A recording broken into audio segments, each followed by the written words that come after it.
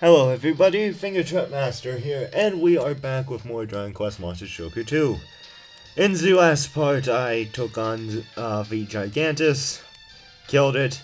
It did respawn, but I saved right near it because I had to go back and heal. So, if you save next to, like, a stationary monster, or just any monster, then they will disappear. So that way you don't start the game and you just march into a battle. So, uh, what you want to do here is grab this torch. And then you have to go back. I'm pretty sure you can't fight monsters during this. Whoa! Whoa, volume control. Ninja Gigantus right there. Okay then, that was kind of freaky. And run away from Geocats. I've been getting very lucky lately. Uh, considering that we beat the Gigantus using the power of crits. And, uh, Got like 770 XP, I think. If that's how I recall it. And also, bah, also I've been scouting a lot of monsters to find a synthesis partner for uh, Batula. And ironically, they've all been like usable to synthesize with Batula. So I'm just picking one out. Um, while holding this torch, I don't think you can have enemy encounters. So just avoid all enemies.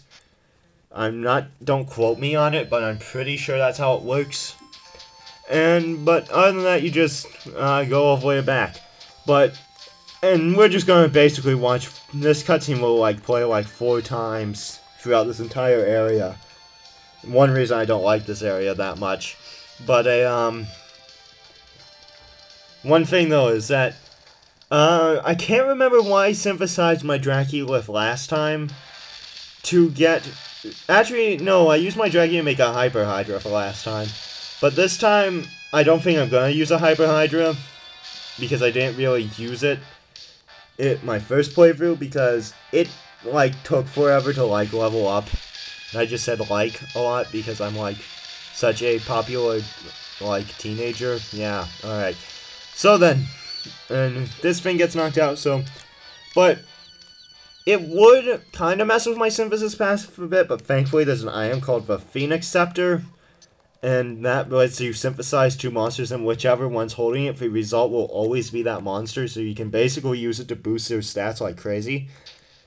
And there is, and one of the monsters I need for my synthesis chain is Scoutable, and so instead of synthesizing it, I'll just scout one, and then use the Phoenix Scepter on with it in my team member, and then move on.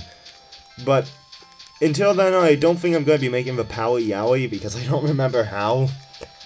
And honestly, I want to try something new. I'm thinking of making a brownie by putting together Buddy and a Hammer Hood.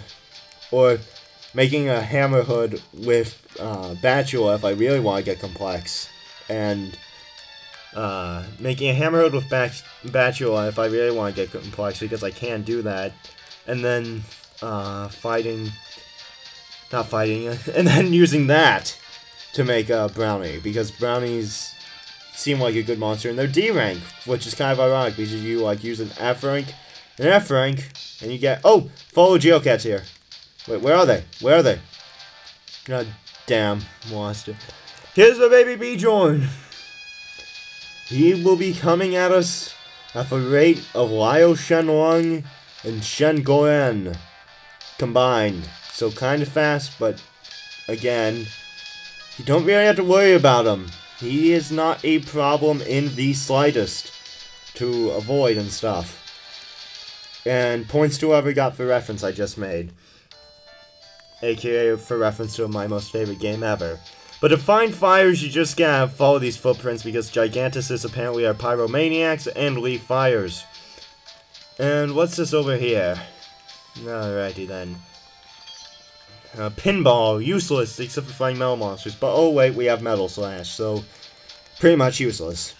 Alright, so um, just keep on going. There isn't really much to say about this place. And now we got the same boss fight again, only it's free Hellhounds. Whoa. Again, I don't remember how to make a Hellhound, but I'll put in the description to this part like I did for the last part. And yeah, they're not that great of monsters. I'm just telling you, but my policy is any monster in this game can be good. As long as you synthesize it right. Like, that's kind of an exaggeration because there are some that will just no never be as good as others, but you can make a really good Hellhound. They just, again, won't be as good as others. So now we got three Hellhounds. Since Hellhounds aren't really big monsters or anything, then they're basically, they're going to be kind of weak to Sandstorm and all that uh, crap. So we're just going to kind of just use Sandstorm and win. Because they can, they don't really resist Sandstorm that well. And then once they're all blind, or at least most of them are blind, then we will just go in. Unless he uses Warcry, and good. I was afraid he'd stun Dope. And let's see. Sandstorm with... Really? It missed them all? I've been lucky lately, and yeah. Speaking of luck, I actually... Yeah, I got... All the monsters I've scouted lately have been possible to synthesize with a... Uh, Batula. And so that's luck if I don't know it, because, again, Batula is getting kind of old since we scouted it and never synthesized it. So, yay, they're both blind now. How evil did I sound? Yay, they're blind! Batula's going to defend because Batula is a coward. Even though they're... Oh, they're blind, but we're just going to use heal. And, yeah. I, in case you're wondering why I made Batula defend, I didn't. I just hit fight. And I have, uh, Dope have the tactic of heal whenever you can, basically. Which is actually probably the best tactic to have, because the, the AI in this game for your monsters is really good. They know right when to heal, they know right when it's time to use the right move, they know all that. You just gotta set the tactic right. And that should be it. Yep. So, again, easy mini boss. And it doesn't even reward very good EXP. Alright. And then she's gonna be like, oh, he's good. And then it's like, oh, yeah, you heard me. Yeah. That doesn't mean you're great. And yeah, you're not Frosted Flakes. Alright, now then. That area over there with the B joint, I think has an upgrade. I'll double check. Uh, yeah, like, that we will fight her, and then we have to make an agreement of that later when she gets a good team, which will be never, even though we will fight her at one point, and she's mediocrely difficult. Alright, so now then, we're going to want to open this box, and get a set of machine parts. It's a blue one, so I think that's a respawning box, so you can always get sets of machine parts if you're willing to take somewhat of a hike.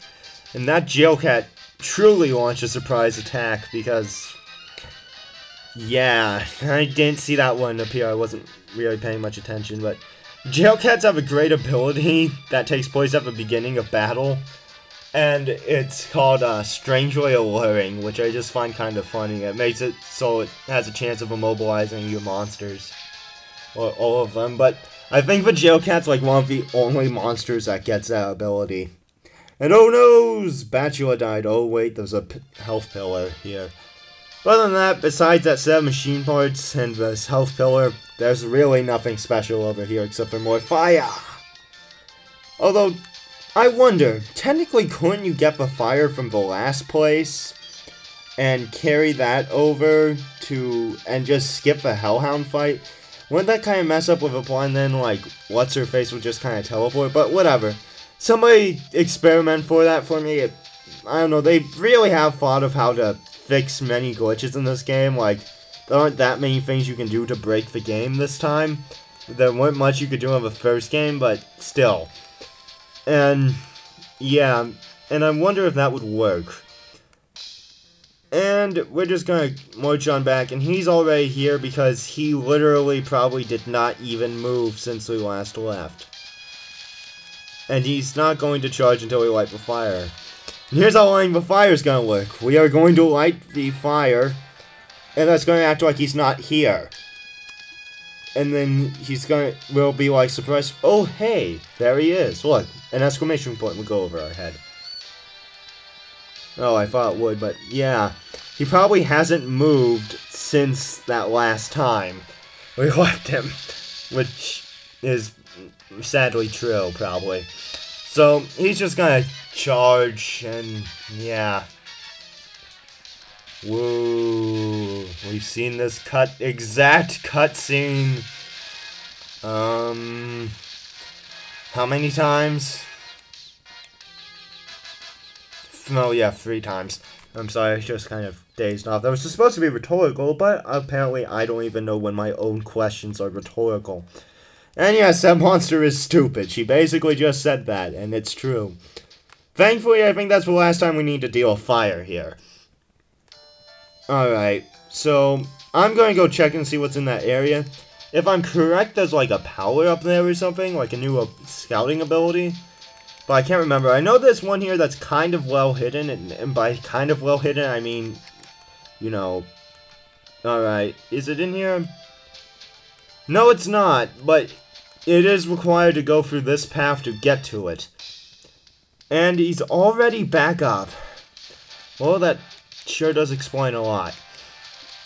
Um, I guess I'll show where to get the power up thingy uh, later. Yeah, he's just kind of ignores. You see, these later giant monsters, they're really nothing. Like, you got the Wormonger who's annoying, but, and is really annoying.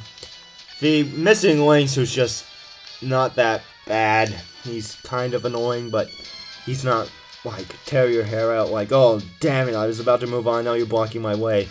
Bjorn is, like, you have to try to get caught by him. You can't get caught by Bjorn, I swear. And, um, and he is the last giant monster that chases you, actually. And we are almost to the end of this area, actually. How many times did I just say actually? Alright, but, and, yeah, I, I'll start out I'll, using the magic power of ending a part and then starting somewhere later. Then I will show you where the little hidden power-up thingy is.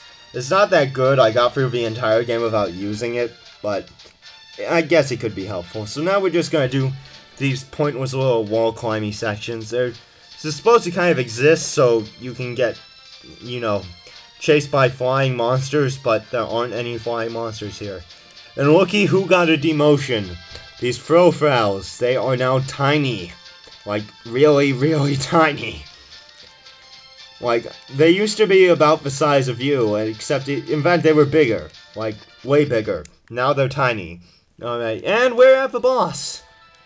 And there's the Countess, and the Countess, and stupid cow mouse thingy. It's just going to fly away because the Countess can. And this is going to lead us to an even fun boss battle that's uh, pretty much a letdown. But still, and you see for red dot, do do do, red dot, red dot from the camera. So we're just gonna ignore these guys. I don't even think you can synthesize. You might, I think they can be used to make a jargon, but that's it. And we already have one, so. Alright, so here's the zip point. And there's always one before a boss and a healing point. How am I on health? I'm all set on health and MP. Alright, good. One moment. Uh, where's me exit? Ow. Alright, had to stretch there for a moment. This will be a kind of longish part because we have a boss fight ahead and I'm not going to end it early because that'd be ending it a bit too early and damn it I wasn't looking where I was going. This adds more time to our riveting adventure. Yeah, I love this game. Alright, but our adventure, let's face it, is pretty lame. Oh no, we took 9 damage! Oh no, now we won't be able to beat the boss. And, yeah, the boss is a letdown. Uh, that's a dead end. It's hard to see with this angle right now. But, ah, there we go. I can see a bit better now. It's just, I'm trying to kind of look at the map to see what's which way's a right turn. One moment. Damn it! Why does the map have to go away when I pause? One moment. Sorry for the tilted angle. It's just, I can't remember which pathway to follow. It's this one. Alright, good. Of course, uh, yeah, navigation, this game can be hard without your map. But other than that, it's pretty easy. And is this the boss fight? I just went in a circle. Alrighty then. I'm sorry for that little detour. But, um, let's see. Alright, now we're going the other way. This time we're going to the boss for sure. Ow. Do do do do do do do do. Alright. The Gigantus is harder than this thing. Hey, a fire! When I saw a fire, I knew exactly what was gonna happen. Alright, so, yeah. Gets the Countess back. Yay!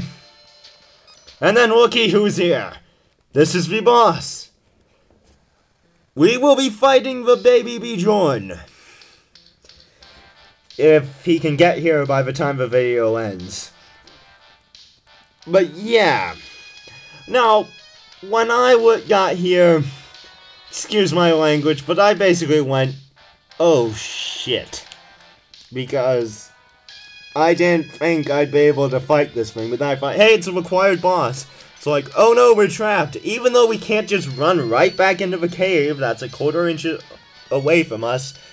No. And then he's gonna charge into the wall and make the entire mountain collapse, and then we die. The end. Do do do. Charge and kill us. Now then, I have no idea how he's a threat. Because he's just gonna hit this wall, basically. Instead of getting knocked out or knocking down the wall, like any good monster from Monster Hunter should, he will just, yeah, look at us and get up. And now we fight him. And he is a pushover. Well, depends on how you fight him. The way I fight him, it's basically, it's kind of like the abominable snowman from uh, Rudolph when it comes to this fight. Because he's really just a pushover. Alright, we're gonna want to lead off with Weakening Wallop. I'm not even going to bother with Sandstorm. Use buff on my Ponkles to boost uh, their like stats and stuff. And basically, I'm just going to lower all of his stats. And, and then he's going to do like one damage to us per turn. And I should have used Kabuff because Rapunzel's got that. Now, strange thing, he's called the Baby Bjorn. He's already doing one damage to us. To Rapunzel's at least. He, they just really, they made it so he can't hurt you, basically. So, yeah, there is, like, literally, this is a really easy fight. Like, he does hit your entire team, but he can barely hurt them. Especially if you boost their defense. Like, look at this. One miss, five damage, one damage. Yeah. And he does hit your entire team and get used to fighting giant monsters. You fight a lot of them. And that's what why you need a good healer in this game, because giant monsters hit your entire team. That's a guarantee. It's a horrible giant monster if it doesn't. But thankfully, and Hatchet Man just missed every single time. But thankfully, giant monsters uh, Every giant monster can do that. Boulder Dash. This is only really dangerous move. It's don't don't worry, Batcher one won't be missed. Alright. Let's see if we can use weakening Wallop and then just fight. It's that simple. When I did this, I lowered his defense and his attack stat. So he was doing like zero damage to my entire team. That's one, two, one. Pretty insane damage, huh? Alright. And this is the fight. This is the fight. It's that simple. And now his attack's down. Now he can't hurt us. And Derp is so derpy that he can just walk on air. Oh no, he's stunned my Ponkles.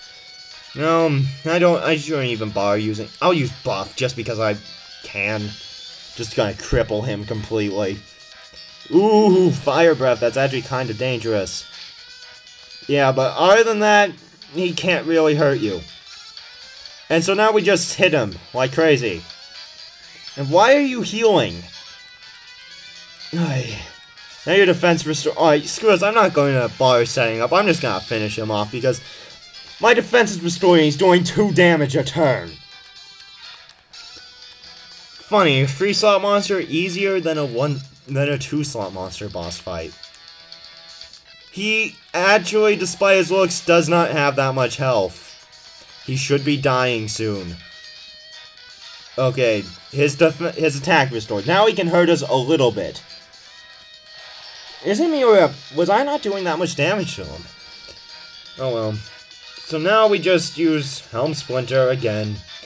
Use heal. And yeah, I don't think Helm Splitter was making much of a difference.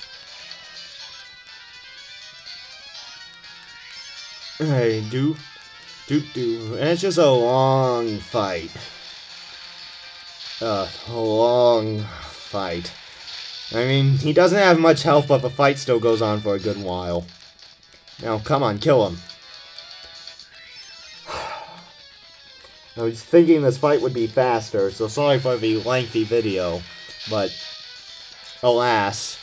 So now he's actually hurting us a little bit, but really we don't have to worry much. Yeah.